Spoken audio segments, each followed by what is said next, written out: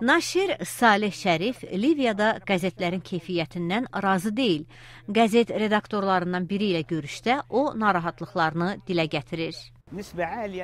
Liviya mətbuatında dərc olunmuş faktlar və məlumatlar çox vaxt ölkədə baş verənləri əks etdirmir. Küçənin nəbzini qəzetlərdə hiss etmək olmur.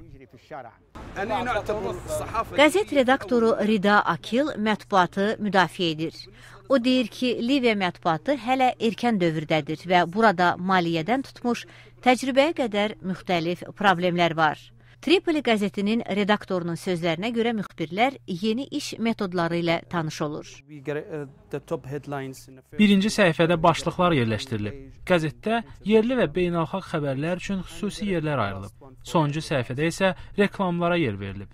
Rida Akil inqilabdan əvvəl tibb institutunda təhsil alırdı. O deyir ki, üsyançılara qarşı mübarizə apardıqdan sonra o dostları ilə birlikdə Liviyada demokratik prosesə öz töhfələrini vermək istəmişdir.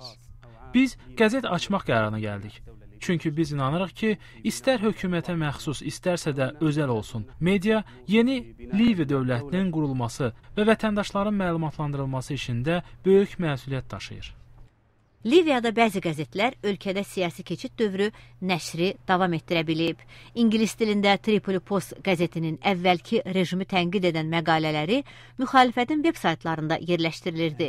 Qəzetin redaktoru Səid Lasvat o ağır günləri xatırlayır. Biz narahat olduq. Çünki fikirləşirdik ki, Qəzzafi bu məqalələri müxalifətin xaricdə dərc etməsi üçün nəşr etdiyimizi düşünə bilər. Buna görə də biz özümüzü senzur edirdik. İndi fikrimizi azad ifadə edə bilirik. Maliyyə problemlərinə görə Liviyada yeni qəzetlərin çoxu nəşrini dayandırıb. Rida Akil kimi qəzet naşirləri Liviya xalqına informasiyanın çatdırılmasının əhəmiyyətini vurğulayaraq oxucuları inqilabdan əvvəl dövlətin nəzarətində olan mediadan fərqli azad mətbuatı oxumağa inandırmağa çalışır. Vaşinqtondan Dilşad Əliyarlı, Amerikanın səsi.